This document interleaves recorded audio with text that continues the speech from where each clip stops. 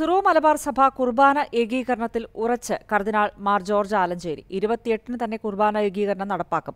ഒരു വിഭാഗം വൈദികരും വിശ്വാസികളും പ്രതിഷേധം തുടരുന്നതിനിടെയാണ് കർദിനാൾ നിലപാട് വ്യക്തമാക്കുന്നത്. സഭയിൽ പ്രാർത്ഥനയുമായി ബന്ധപ്പെട്ടുകൊണ്ട് ഇരു വിഭാഗങ്ങളായിട്ട് മാറി നിൽക്കുന്ന ഒരു അവസ്ഥയുണ്ട്. ഒരു ഏകീകരണമോ അല്ലെങ്കിൽ ഒരു സമവായം അങ്ങനെ ഒരു സാധ്യതകളുണ്ട്? അതിലിപ്പം തന്നെ ഏകീകരിച്ചിരിക്കുക കുർബാനയുടെ രീതിയെ. അത് നടപ്പിലാകും. അത്രയേ പറയാനുള്ളൂ കേട്ടോ. താങ്ക് യു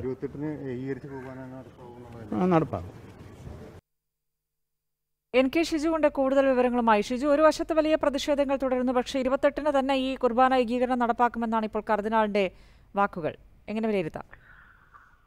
ഈ കുർബാന ഏകീകരണവുമായി ബന്ധപ്പെട്ട വിവിധ തരത്തിലുള്ള പ്രതിഷേധങ്ങൾ പല തലത്തിൽ നടക്കുന്നതിനിടയിൽ ഇതാദ്യമായിട്ടാണ് ഇത് സംബന്ധിച്ച് കർദിനാൾ അദ്ദേഹത്തിന്റെ ഒരു നിലപാട് പരസ്യമായിട്ട് പറയുന്നത്. അദ്ദേഹം പറയുന്നത് ഇരുപത്തിയെട്ടിന് തന്നെ അതായത് ഈ നവംബർ ഇരുപത്തിയെട്ട് മുതൽ ബസലിക്കകളിലും തീർത്ഥാടന കേന്ദ്രങ്ങളിലും പരിഷ്കരിച്ച കുർബാനാക്രമം നടപ്പാക്കാനായിരുന്നു നേരത്തെ സിനഡ് നൽകിയ നിർദ്ദേശം.